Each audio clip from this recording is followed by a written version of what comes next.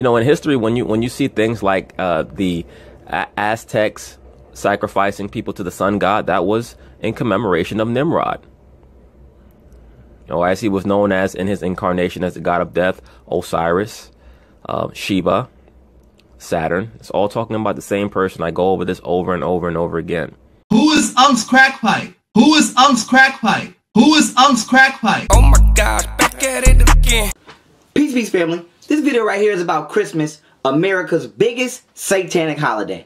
Now, I know what a lot of y'all getting ready to do and say, oh, Christmas is about Jesus and holiday cheer and blah, blah, blah. No, it's not. And y'all know how I do and how I've been doing on this channel. I've been coming with the facts. So hold on to your reindeer. Don't fall out your sled, okay? Because we finna do the same thing and slide on Christmas, okay? Now, Christmas has nothing to do with Jesus, okay?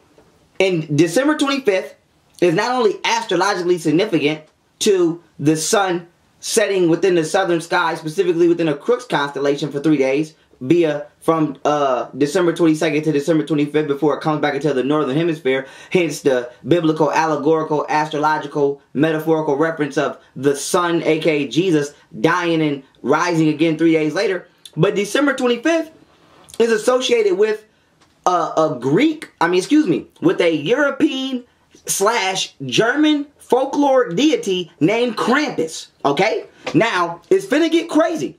Okay? Krampus is known as the Christmas devil. Okay? So, let before we go, because Santa Claus is Satan. Okay? And we're gonna prove this. Now, Santa Claus, right? Is Satan. If you take the N out of Santa Claus and put it on the back, it spells Satan. Christmas is not a holiday.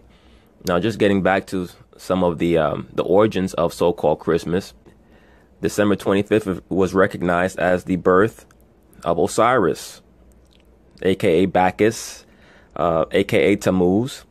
Why is that? Because the winter solstice represented the disappearance of the sun and the reappearance of the sun. The ancient cultures worshiped the sun. At summer solstice, the sun rises along the causeway in front of the Great Pyramid and moves across the sky, setting between the second and the Great Pyramid. In the winter, the sun rises in line with the Grand Causeway by the Second Pyramid and sets between the second and third pyramids, making a short trajectory. It appears that the causeways are deliberately pointing towards the rising sun on the summer and winter solstices. The ancient cultures practiced what was known as a stellar religion, S T E L L A R, meaning um, they utilized the star formations and many of the other celestial bodies as embodiments of the notable figures of antiquity, that being Cush, Nimrod, Semiramis, etc. Okay, so uh, the sun disappears on December 21st, what we call the winter solstice, which is the shortest day of the year, and then it starts to reappear on December 24th. People have to understand that Christmas is not just a holiday on the 25th. It starts on December 24th, and in the ancient time, that was known as Mother's Night. Right? That's why we call it Christmas Eve. Okay? So, uh, the celebration starts on December 24th and goes into December 25th, where it was known in ancient Rome as the Saturnalia, in which the practices were drunkenness and revelry, um, wanton sex, the, of course, the exchange of gifts. In ancient Rome, the slaves would trade places with the master for a day.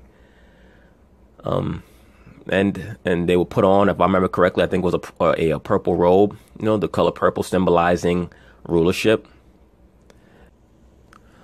Also, please remember that Nimrod, in his manifestation as Baal or uh, Molech or even Saturn, was the god of death.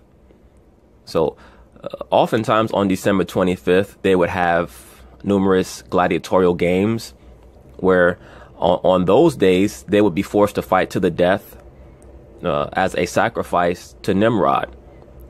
You know, in history, when you when you see things like uh, the A- Aztecs sacrificing people to the sun god, that was in commemoration of Nimrod. You know, as he was known as in his incarnation as the god of death, Osiris, uh, Shiva, Saturn. It's all talking about the same person. I go over this over and over and over again. But that's what the Christmas festival is about. Like the 12 days of Christmas. Those were 12 days in ancient Kemet where they uh, venerated Osiris. So now they just transferred it over to the quote unquote 12 days of Christmas. Okay? That's the end of this video. I really hope you enjoyed. I hope you learned something new. And I'll see you guys again very, very soon. Later.